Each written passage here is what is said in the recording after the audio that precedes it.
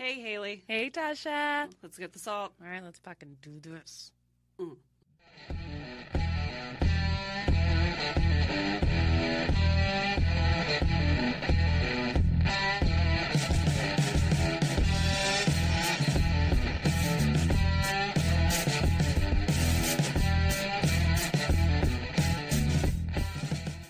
So we're finally hit double digits Whoop whoop.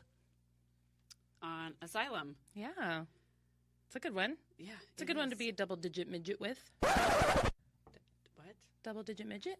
Oh, You ever heard that term? I have not. You know, never. Never ever. Never, not once. Never Oh, not once. Never not once. That's unfortunate. Not my midget. Not my problem. All right. That's what I always say.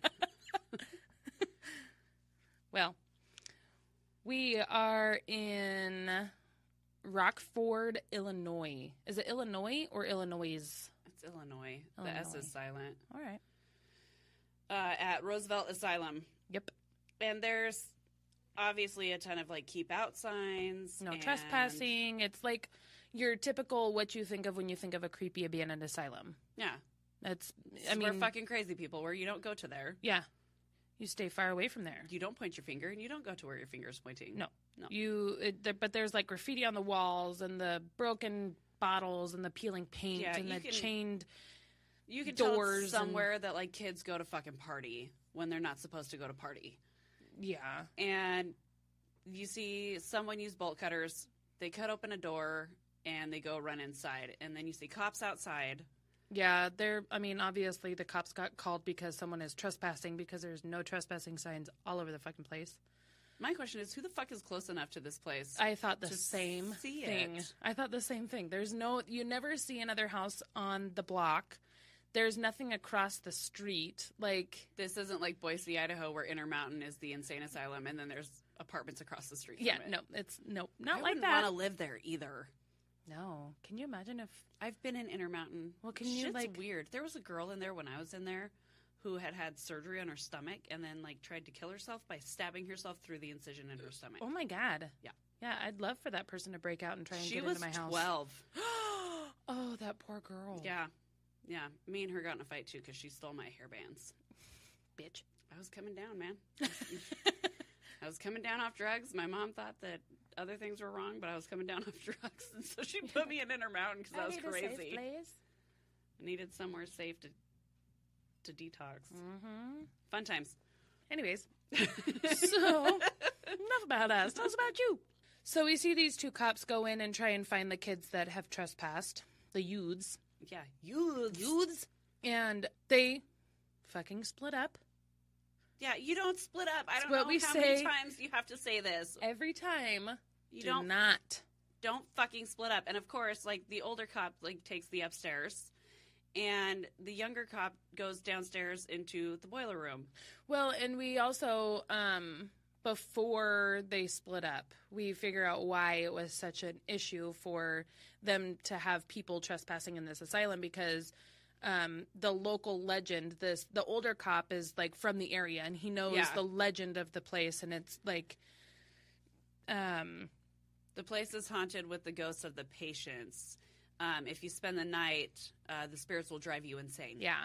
And so he's telling this to the younger cop, Walt Kelly, because he's not from around there and he didn't know that legend. Um, but they split up. Kelly goes in the basement. The older guy goes upstairs, and he's the the older cop is the one that finds the three teenagers, the Yeah. three youths that broke in. Yeah, he's like, "Come on, you crazy kids, you meddling You, kids, you little whippersnappers, you. Yeah. So the Kelly, the guy who's downstairs, uh, his flashlight goes out. Get the And salt. yeah, get the fucking salt, guys. Carry salt with you in dark, scary, creepy places. Yeah. It's just smart. Yep. Uh, and a door opens, and then he comes back out. Like everything's the, the they send the kids on their way, and the cops meet back up. But you can tell that there's something off with Yeah. Officer Kelly, He, yeah. and his nose starts to bleed when he gets into the cop car. when I first saw this episode, though, I thought it might have been something like um, ectoplasm or something. That's what I thought too until But I realized that Sam's nose is bleeding too. It's blood. It's not. Yeah. It Um, would have been cooler. If it was ectoplasm, would have been cooler if it was ectoplasm. Would have been cooler if he did. but so after shift, they go home and Kelly like walks into his bedroom and his wife is in bed and she's like, "Oh, you're still not going to talk to me? I apologized and blah blah blah." And How many times do I need to say that I'm sorry? he doesn't say a word. He No. says not one fucking thing, but he takes his gun and he shoots her and then he shoots himself. Yeah, murder suicide. Yep, and you don't see this the murder suicide happen. You just see the the flashes from the gunshots from outside the home. And you just assume. Yeah, it, there's two shots. I mean, Yeah. Where else is it going to go except for maybe Right. two to her? Yeah. So it cuts to Sam and Dean, and they still can't find their dad. Sam, of course, is calling all the friends and everything. all the hunt, yeah, they're like all hunters. priests, Uh huh. everybody. To see if they knew where. and they can't find him. And Sam's like, I want to go to the feds. And Dean's like, Dad would be pissed. It's a bad idea. Well, and as much as Dean or Sam is looking through, like trying to call people that they know, Mhm. Dean is looking through the journal to see if there's any sort of clues that he can find in there, and he's like, I love the guy, but I swear he writes like friggin' Yoda. "Yes, oh, and then Sam also is like, Well, Dad could be dead. And Dean's like, Don't say that. yeah, Because it's anything that has to do with John being dead, like, instantly pisses Dean off. Well, yeah." He gets a text message, like, right after this whole thing, gets a text message. It sounds like his phone is ringing, but It it's does. a text message. Well, when they were talking about putting the feds on him, Sam honestly really doesn't even care if Dad is pissed that they put the feds on him. No, Like he, just, wants, to, find him. and especially given everything that happened in Kansas, he wants to find him even more now to try and figure out what the hell they just went through in Kansas. Yeah, because if Dad was alive, he you said it yourself, he would be there. Right. So there, you know, we're getting mixed signals. Dean want, doesn't want to find him. He just wants to follow the orders, Yeah, and Sam Like wants to find him. Yeah, and Sam wants to find him because he wants answers. So when this text message goes off, it's from an unknown number, and it it just has coordinates. Mm-hmm. And Dean is instantly like, "Oh, it's Dad. He's sending us to go do a job." Like, See, Dad's not dead. yeah, he's not. He's fine. Yeah. Everything's fine.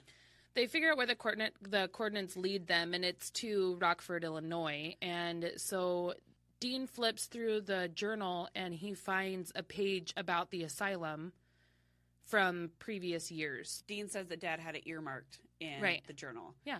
It says in the journal there's Seven unconfirmed sightings, two deaths, till last week at least. I think this is where he wants us to go. In the on the um, news clipping yeah in in the in the journal. yeah Yeah. Well, then, so they figure out where the coordinates are and they figure out why they're supposed to be going there. And Dean, like a good soldier, just says, okay. let's go. Yeah. Like, no questions asked. That's where we're headed. And of course, Sam always has reservations, but Mhm. We put up with it. That's Sam being a wham baby. So they go to Rockford, Illinois, and they find Daniel Gunderson, and that was The older cop. the older cop, Right. Walt's Walt Kelly's Partner. Partner. Yep. And They find him in a bar. yeah, and Dean pretends to be Nigel Tufnel with the Chicago Tribune. The fuck kind of name is that, Nigel? He doesn't even look like a Nigel. My name's Nigel. It reminds me of um the The Wild Thornberrys. the wild thornberrys. yes, with his great big nose. Yeah. Yes. And his his mustache that comes out of his nose. yes.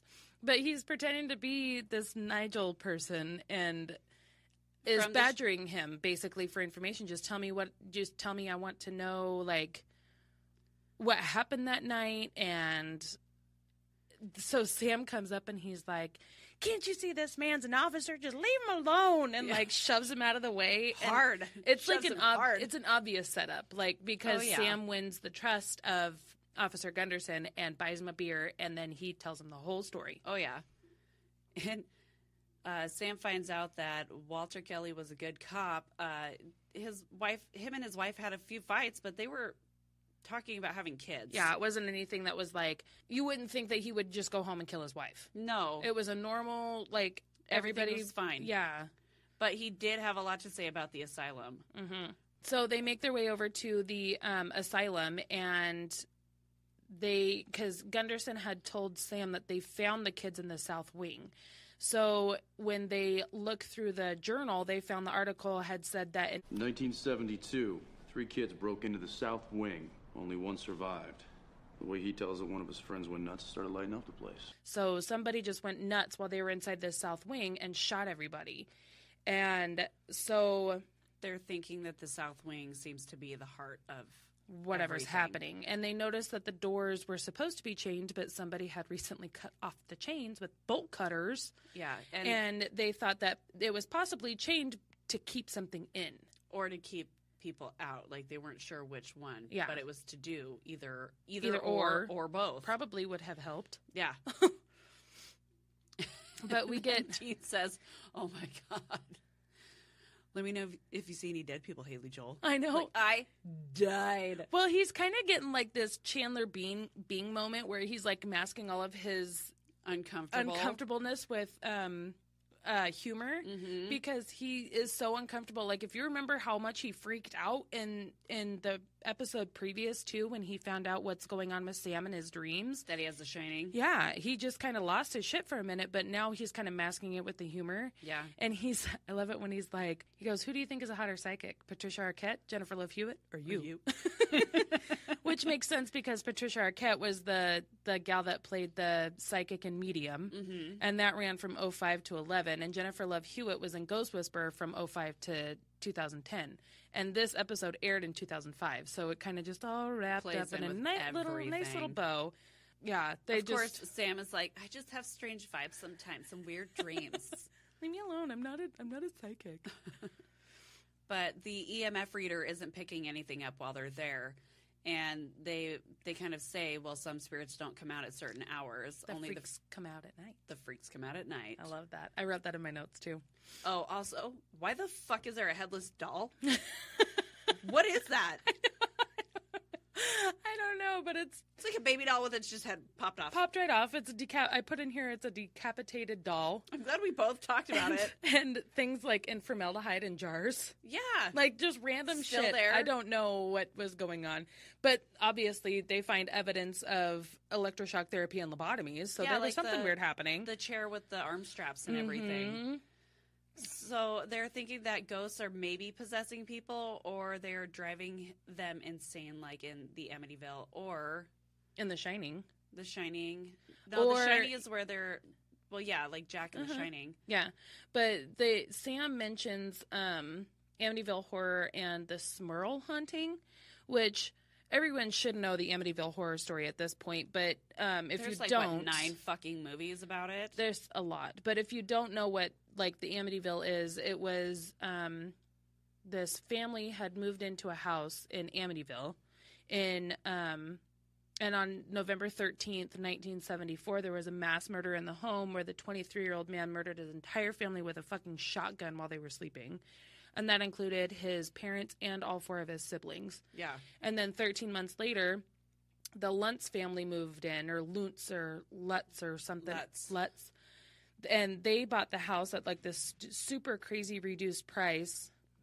And um, because of the murders, but they only lasted in the house for 28 days and ended up leaving because of the paranormal activity. Yeah. So that's kind of the rundown on the Amityville story.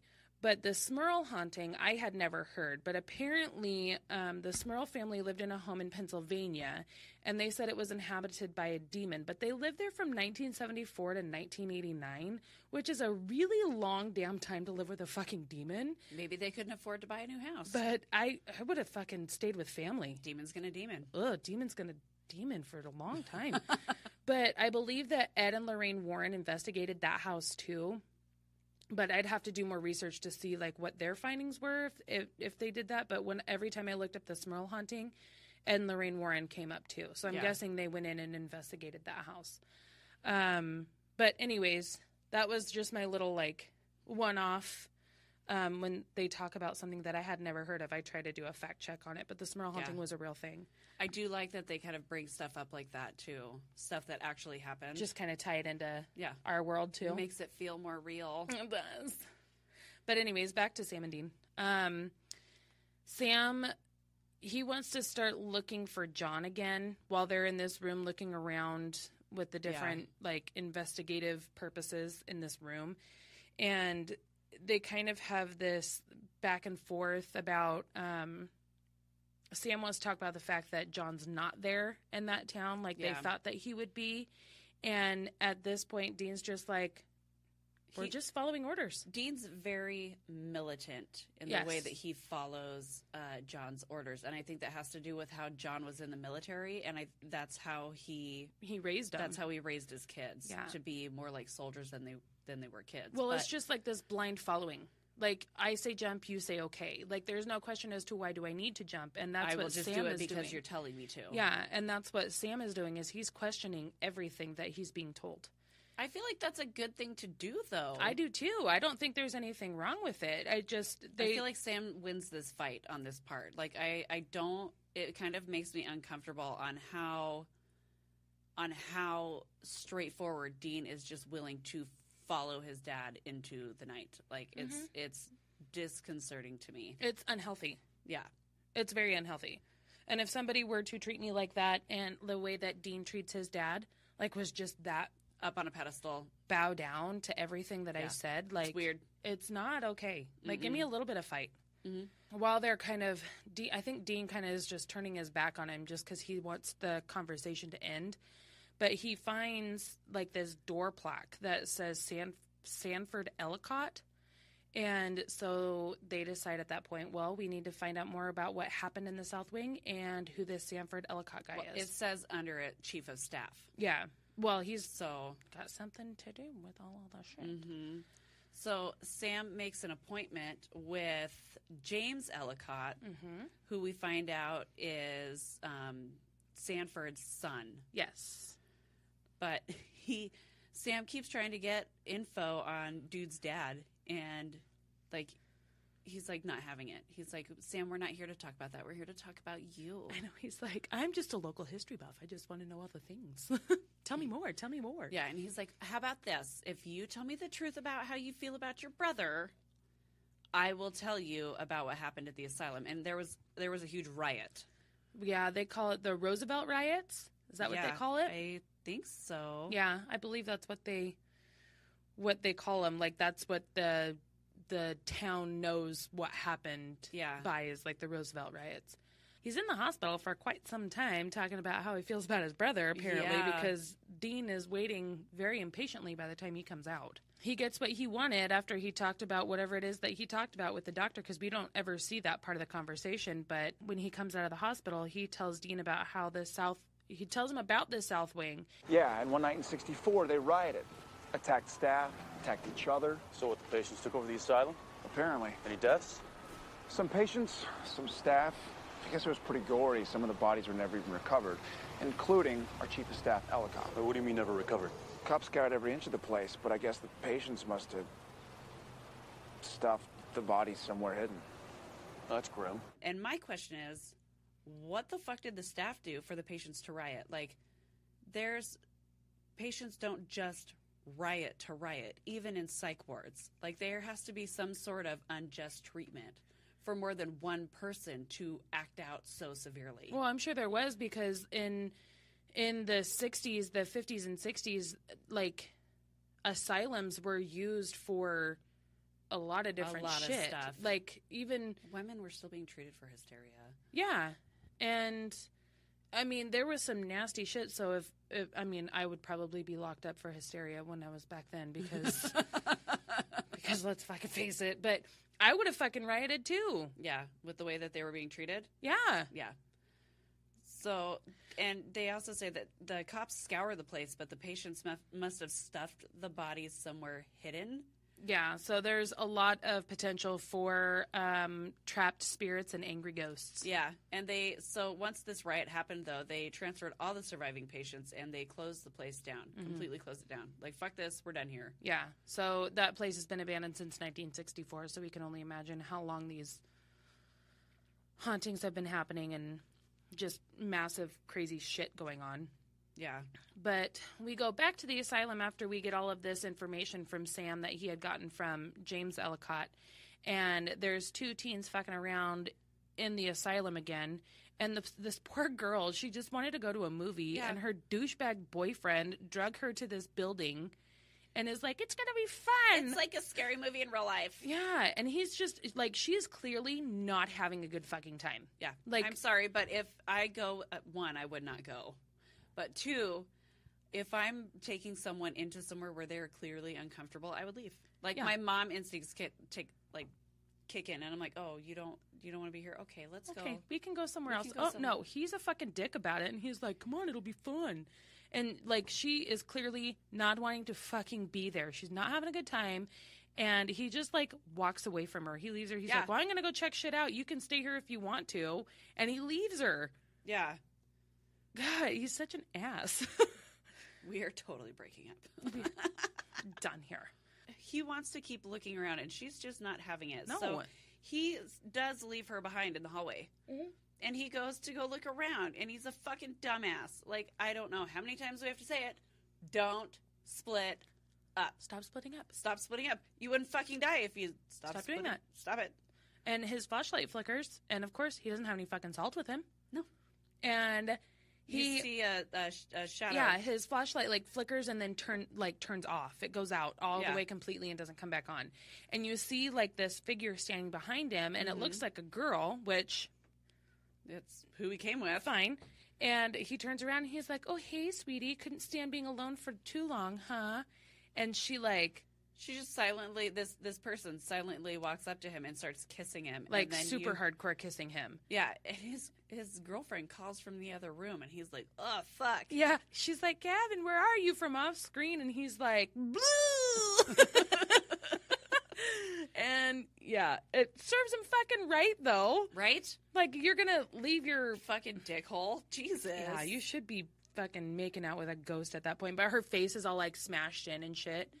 and messed up. Yeah, and he super says like messed it's up. messed up. Yeah, So Sam and Dean enter the asylum at this point, point.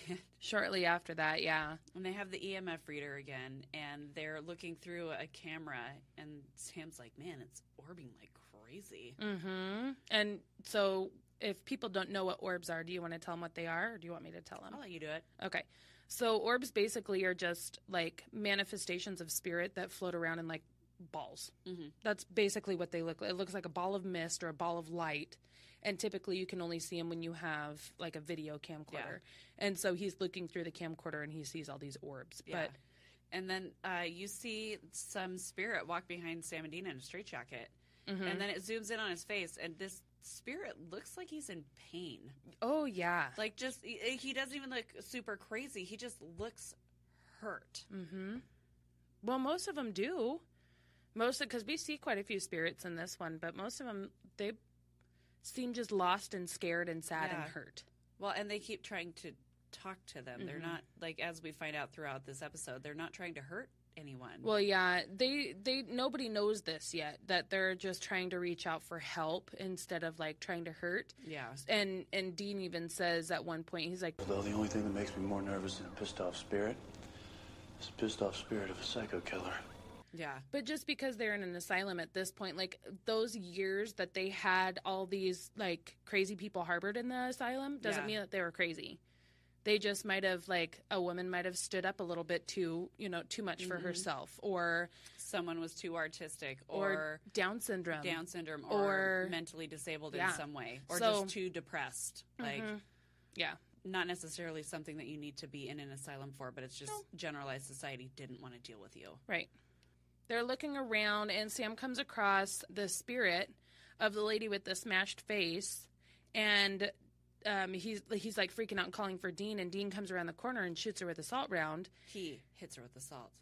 Yeah, he shoots like her with the salt round, Hit it with the salt. like a margarita. Mm. like a margarita. Or like a tomato. Hit it with the salt. yeah, I don't like it. I don't like tomatoes. God, put it in my mouth. I love tomatoes. so Like- juicy. Almost instantly after. Almost instantly after Dean shoots the spirit with the salt round, Sam's like, uh, kind of get the feeling that she wasn't trying to hurt me. Like, Yeah. instantly. Like almost regret. He's like, oh well, um, sorry. I feel like maybe she was trying to tell me something. Like, they just, he just, yeah, couldn't have fucking said that sooner, Sam. Thank right? you. and then they find Kat hiding behind a bed. Kat is the the chick from Is the chick, the the girlfriend from earlier. Yeah. And she, yeah, she's totally like posted up behind a flipped over bed, terrified. Please leave me the fuck alone. Ghosts go away. Yeah, she was like, uh, I came here with my boyfriend Gavin. We were supposed to go to a movie, and um, I've seen some shit since I've been here, so I'd like to get the fuck out now. I want to go home. But she doesn't want to leave without her boyfriend, so they go to look for him. Yeah. and they, what do they do? Split up. They split up. Stop doing that. Oh my god.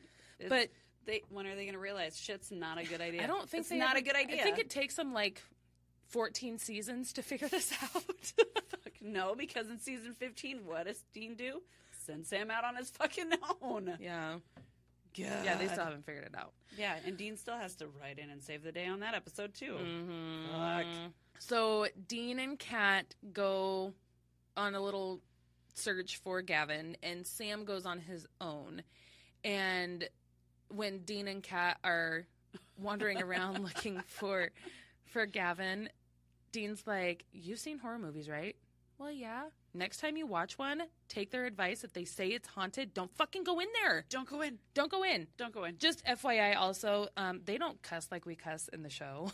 no, not except for in, in Ghostfacers. Ghostfacers. Oh yeah, but they bleep it They out. bleep it out, and they put like the little the the little. little ghost face over Yeah. their, over their mouth so you can't tell what they're saying. Oh, ghost facers. I love ghost facers. We were watching um, Ghost Adventures the other night, and I was like, Ghost, Ghost Facers. my, we hus- find the ghosts. my husband was not impressed. I would have been. That was funny. I would have done it with I you. was laughing. But as they're wandering around, Sam finds Gavin. and he's knocked the fuck out He's on the knocked ground. the fuck out on the ground because he was running away like a little bitch. and he he probably tripped and fell or not, like hit something. Yeah. Oh, I'm sure. Dumbass. when he comes to, he was like, "There's ghost chick. Uh, she kissed me, and it scarred me for life." Like, and then she was trying to whisper something in my ear, and Sam's like, "Okay, well, what'd she say?" And he's like, "I don't know. I ran away." I was scared. Dumbass. Dude. But honestly, same. Yes, but it's fun to make fun of him because It's fun to make fun of him because I'm not in that situation. I wouldn't fucking put myself there. Um, I would not have continued to walk into an asylum if my girlfriend was obviously uncomfortable. yeah. I would have been like, I would be the well- girlfriend. Honestly, I haunted places at night scare me. During the daytime, sure. Well, and if when there's know, sun out and it's okay and the like the world is one, cool. but darkness falls, fuck you. I'm not going anywhere in it. I like to watch the scary shows at night, but I will not go to the scary places and the haunted places at night by myself well, or if with you know, else. if you know that you were going to go somewhere that's haunted, wouldn't you want to like arm yourself? Yeah. with like salt and iron and I shit. would go to like Wendy's and pick up all their little salt packets that they have and just like carry it in my pockets and just we were. I don't remember what we were watching. I was watching something with the boys earlier, and they said something about. Oh, we were watching Gravity Falls, Yeah. and the chick was like, "Yeah, I hit the he hit the ghost with a bat," and Jackson was like, "Well, that's stupid that they believed her because you know you can't hit a ghost with anything." And I'm like, "Iron and salt." yes, you can. Oh my god. I'm gonna learn you today. You gonna learn today. Hmm. Dean and Kat are walking down the hall after they're like they're still trying to find Gavin. I don't think they realize that um, Sam has found him, and his fucking flashlight yeah, flickers. Dean's flashlight goes out, and the girl's like, Ow, you're oh, "Ow, hurting, my, arm. Dun, dun, dun. Yeah, Dean turns Not around. Dean Sweet Cheeks. Dean turns around like, "What the fuck are you talking about?" and when they when he like because he had gotten his lighter out and he like shined the light from the lighter down onto her arm and there's this ghost hand Yeah, holding onto her onto arm her. and it like yanks her into one of the Whips her around and pulls her into a cell. yanks her into the cell and then slams the door and locks her in with him. And she's freaking out. Same, Yeah. Well, yeah. same, valid. And at first she doesn't see him, but she hears him. And she's looking around like, what is that? What is that? Where is it coming from? And then it shows him. And Sam, of course, finds him at this point with Gavin. Mm-hmm. And Sam's like, listen to him. You need to face him. Have to face. She's all, you face him. Dude, I'd be the same way you do it. I don't want to do this. I know. And he's like, this is the only way that you're going to get out of there. You just have to turn and face him. yeah, listen to what he has to say. Mm-hmm. So she fucking mans up. man. Yeah, she does. She kind of turns into a badass at this moment. Yeah.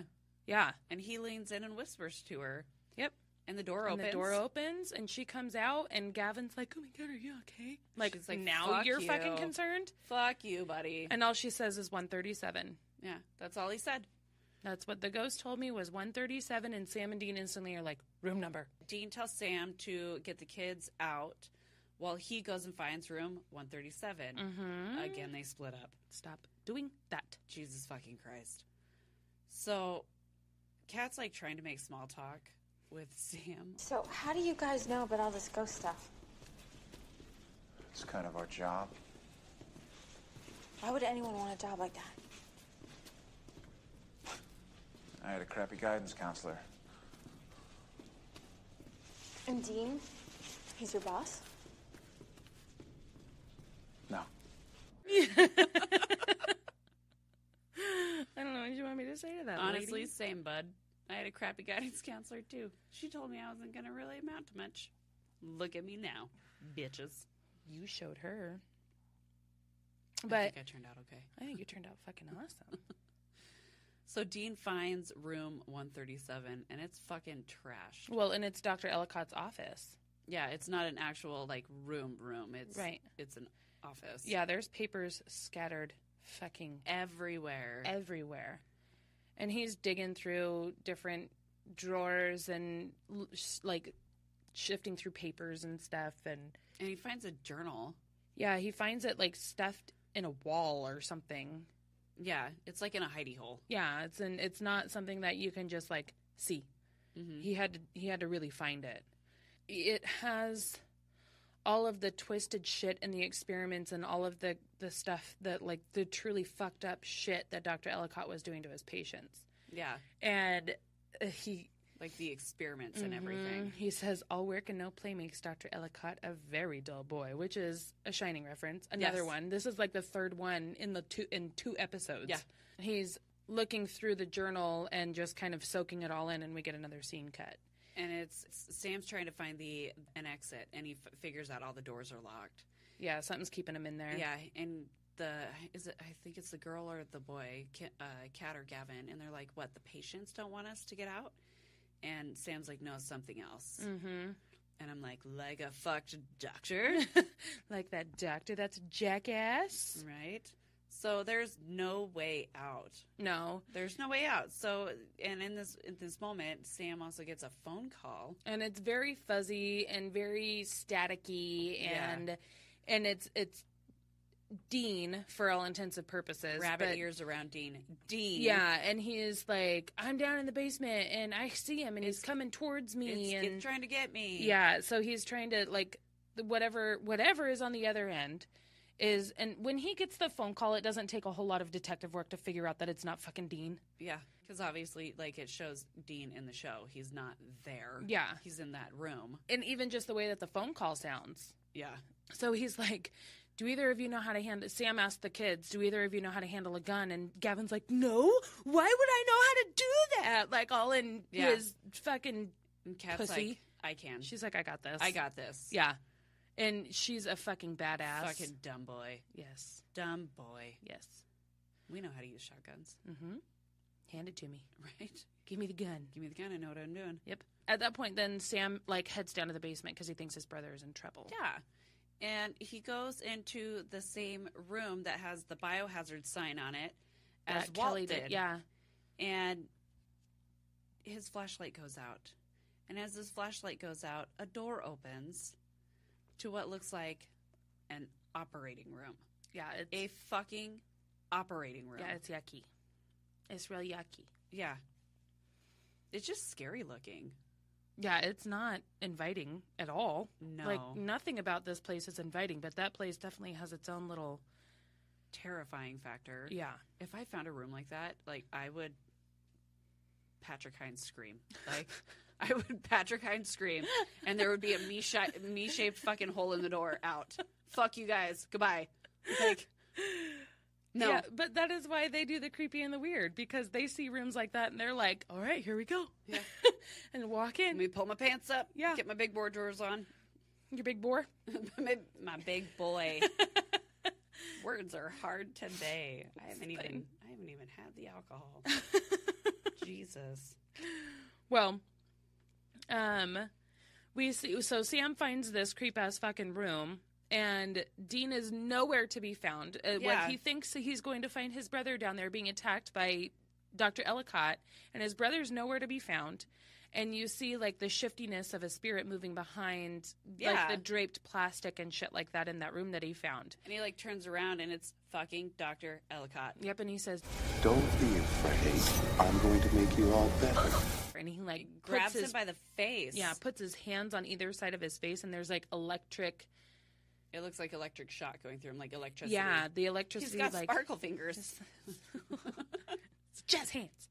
I just Um, watched Shazam last night. Captain Sparkle Fingers. I haven't seen it. It's so funny. I have Oh seen Frozen God. 2 though, and that was pretty good. You should come over because we bought Shazam on Amazon Oh, did you? Oh my god, it's so good. Lay your hands on my staff. Gross. No. and say my name. What? It looked funny when I saw the previews for it. It's so good. It's so good. Anyway, so well before that, Kat Kat tells Gavin like they cut back up to upstairs, and she's like, "If we make it out alive, we are so breaking up." I know, and I just wanted to like fist pump her Yeah, so bad. good for you, girl. At a girl. Know your worth. Yes. And she hears something and just shoots. Well, yeah. Well, she's scared. I heard a noise. I'm shooting at it. yeah, Fuck yeah, but it's she Dean. almost shoots Dean, and she's like, "Sorry." Props, girlfriend. But he's a little confused as to why they're still there yeah, and not gone.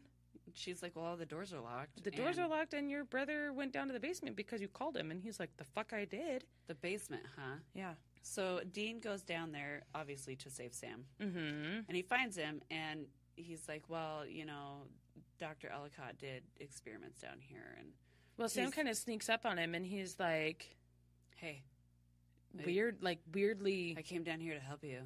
yeah, just weirdly calm and weirdly like almost when the and when he starts when Dean starts telling him about all the things that Dr. Ellicott did down in the basement, it's almost like he's defending him. Yeah. It's fucking But weird. the patients are the ones who rioted. And Yeah. Dean's like, But they rioted because of their treatment. Dr. Feelgood down there trying to make him like, Dr. Feelgood was performing experiments on his patients for anger therapy. mm-hmm. Um, he was making them angry in hopes of getting them out, like getting it out of their system. right, but it was just making him It worse making and it worse, worse. and it was making him angrier and angrier until they fucking turned on him and rioted. Which, Yeah. I mean, I would too. don't blame you. Like, get me super full of rage, and there's no off button. Like, you Yeah. s- you, just see red. You turned it on, and you're the one that turned it on. So guess what? I'm coming after you now, Yeah. motherfucker. So Dean wants to find uh, Ellicott's body and salt and burn it, Mm-hmm. and he thinks that it's in his hidden procedure room somewhere in the basement. And Sam is like, dude, I looked everywhere. There's no room. Find anything. There's no room. And he like almost doesn't want him to find it, doesn't want him to salt and burn the bones. Yeah. And Dean even asked him, Did you see him while you were down here? And he's like, No. No. The Whoop. Nope. Didn't see anything. red flag. That's not Sam. Yeah. So Dean finds the door, and Sam's nose starts to bleed. And this is when I first realized that. It's blood, not It's ectoplasm. Mm-hmm. Yeah. Right. So Sam, of course, Sam. Okay. So okay. he goes on a villain's monologue. Sam. Yeah. Uh huh. Goes on a villain's monologue about how he's tired of being told what to do and blah blah blah. I'm like, why? Like, and I just I kept thinking about it because I watched Shazam last night. So, and one of the main characters talks about this is the villain. He's the villain. And so that's where I think, oh my god, it's the vi- it's the villain's mon- monologue. Yeah. I can't, I'm sorry, I can't hear you. You're like a mile away from me. I don't. Yeah, I'm just gonna go. Well, yeah, he's yeah, he totally goes and off to this dark, dark place in his mind because of Doctor Feelgood telling him, "I'm going to make it all better for And he you. Don't worry." Dean with the rock salt. Yeah, he's as Dean is like finding where the this door is hidden because he feels the air coming from underneath the door. Yeah. he bends down to kind of check it out, and when Sam's nose starts to bleed, starts to bleed, he like picks the gun up and points it right at Dean, and he's like, "Hey, Dean." And Dean turns around. He's like, "What are you doing, dude?" Yeah. And that's Sam goes on his villain's monologue. Villain monologue. I am normal. I'm just telling the truth for the first time. I mean, why are we even here? Because you're following Dad's orders like a good little soldier? Because you always do what he says without question? Are you that desperate for his approval? This isn't you talking, Sam. That's the difference between you and me. I have a mind of my own. I'm not pathetic like you. So what are you gonna do? Huh? You gonna kill me? You know what? I am sick of doing what you tell me to do. We're no closer to finding Dad today than we were six months ago. And then fucking shoots him Yeah. and blasts. There's a Dean shaped hole through that door as he goes sending like Yeah. propel him backwards with the rock salt. Yep. So as Sam is like doing all of this, uh, Dean is like, "All right, well, you know, if you want to kill me, here, here's a real gun. Here's my here's my gun with real real, bullets. bullets. And Sam actually pulls the fucking trigger. Yeah, Sam pulls the trigger, and it, he like it doesn't register. He's like, "Why is this blank? Like, why is this not? Why is he not dead?" And Dean grabs the gun from him and knocks him out, Mm-hmm. and it's just like, "Oh my god, Yeah. he totally would have killed his brother." He pulls the trigger twice, Yeah, trying to figure out why it's not like the bullets aren't coming out. And Dean even says, like, you really think I'd hand you a loaded pistol? yeah, Like, I know what's going on. Yeah. Not fucking dumb. This is why we love Dean. This is why we're on Team Dean, not Team Sam.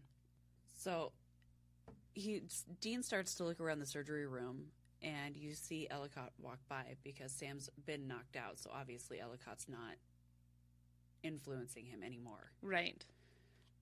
So he's looking around and he finds a cabinet with hair sticking out of the Mhm. side. Yeah, it doesn't take Dean very long to find where the body's at. And all I can think is ill. Ill? Yeah. That means there's a body? Yeah. Ill? Yeah. Ew. No thanks. And he opens the door And it's to the cabinet. smell. Yeah. all I can think of is like the equivalent to the smell that he probably smelled is is I don't want to think about it. I don't It's want to like think about when my mom bought half a cow No, or thanks. a whole cow, and somebody had unplugged the freezer. it. Oh my god. yeah, somebody at our house had un- Like either it rancid died- meat. Yeah, and it's just rancid meat smell. Ugh.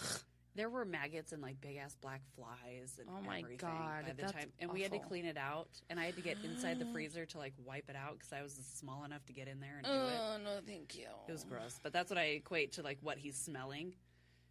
I feel you, Yeah. bro. That's No, thank gross. you. But yeah, he doesn't. It doesn't take him long to find where the body's at in the cupboard or in the cabinet or whatever, and he just like goes to work. He grabs Yeah. his his Salt. salt. and he salts the bones, and then he douses it with lighter fluid. And just as he's about to like light him on fire, Doctor Ellicott comes up and he's like, Grabs him by the face. I'm going to "I'm help make you. all better." Yeah. No, no, you won't. And as he's got Dean by the face, like he did with Sam, Dean lights his lighter and throws it over to the body. yeah, because he's got a Zippo lighter. Yeah, those things are fucking bomb. Yeah. they light like when it's super windy outside, when it's wet outside, and they stay lit. and they That's the best.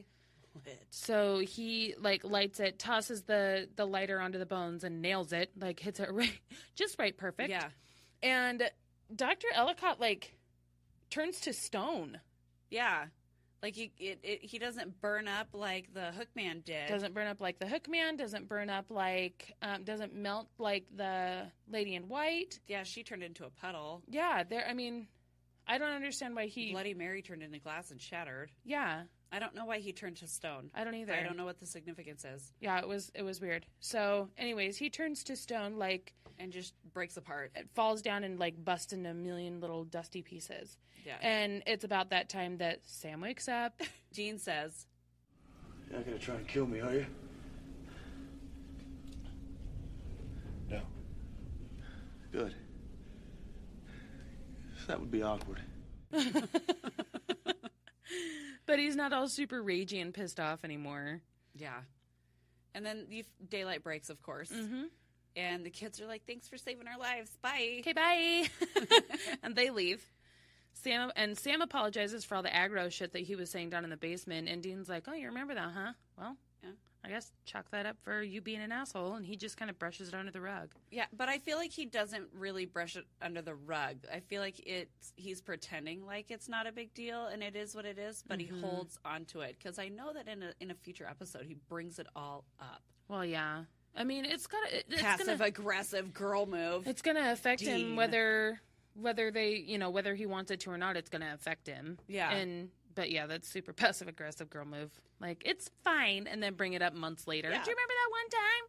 You you've been feeling like this forever. I know it.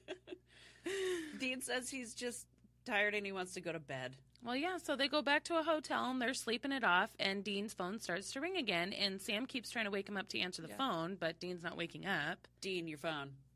Dean, your phone. That's like me in the morning when my husband's alarm goes off. I'm like, honey, honey, that's you. Oh my god, I do That's the yours. same thing with Greg because his alarms start going off at six forty-five and he doesn't fucking move. So I do like the poke, Oh, the poke, and then I like shove him. Wake up! that well, ours start around like four.